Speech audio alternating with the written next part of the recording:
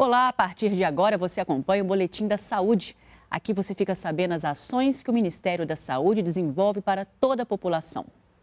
Quem vive com pessoas idosas precisa ficar atento aos sinais de violência. Isso porque muitos desses maus tratos acontecem dentro da própria casa. Por isso, o Boletim da Saúde desta semana vai mostrar para você como reconhecer esses sinais e também como proteger essas pessoas dessas ameaças.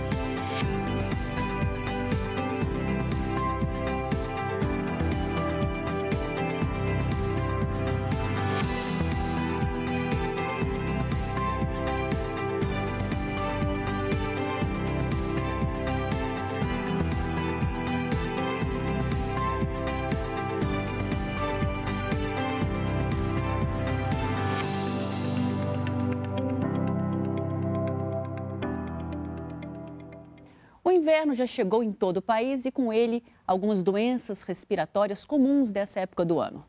Você vai saber agora como evitar e se proteger dessas complicações. A gente tem algumas alergias que são mais prevalentes nessa época do ano, né?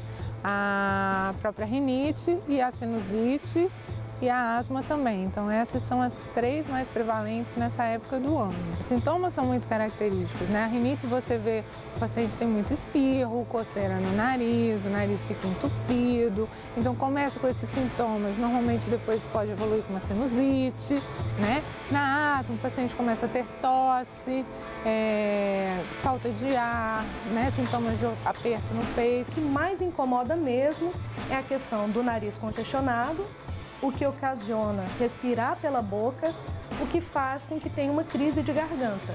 Então é uma somatória ali de sintomas que fazem com que eu fique muito ruim mesmo. Descongestionantes são as drogas que são mais utilizadas, né? Você tem um abuso do uso desses medicamentos nessa época do ano. Sim, os descongestionantes eles podem levar a uma rinite que a gente chama rinite medicamentosa, pelo próprio uso da medicação. Os tratamentos eles podem ser medicamentosos, né?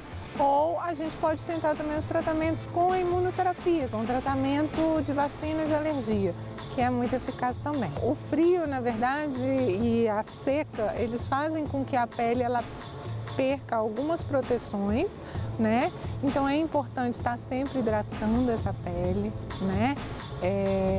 Mesma forma que a gente vai hidratar o nariz com soro, mas hidratar a pele, tá? Os banhos, a gente tem uma tendência a tomar banhos mais quentes, mais demorados, que para a pele também não são muito recomendados. Então, assim, você tem uma série de fatores que podem contribuir com a piora desse aspecto da pele nessa época do ano. Acabou o Boletim da Saúde, mas você pode continuar acompanhando as notícias do Ministério da Saúde pelo portal saúde.gov.br pelas redes sociais facebook.com.br MinSaúde e também pelo Twitter, arroba MinSaúde. Muito obrigada pela companhia e até a próxima.